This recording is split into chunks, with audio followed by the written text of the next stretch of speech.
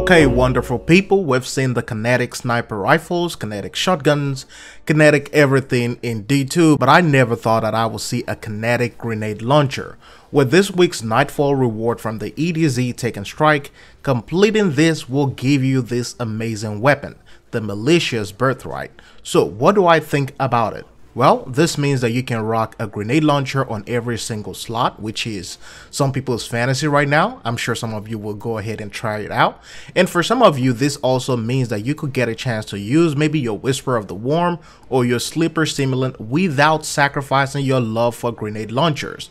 Damage wise, it is a kinetic weapon, so you know it will be a little bit subpar versus other elemental launchers out there. It hits at 12,333, the blast radius is above average, it has great reload and handling and if you have a good roll on it, it's even a lot better.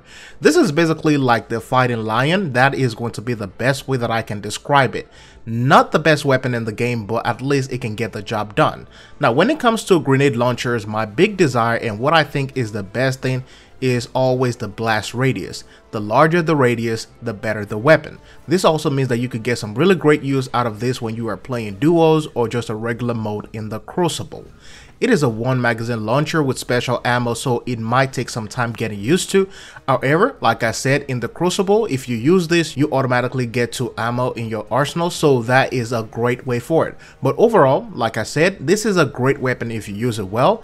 My suggestion still is going to be that this is a PvP launcher, not really beneficial in PvE. But anyways, that's it for this quick review. Hope you find it informative.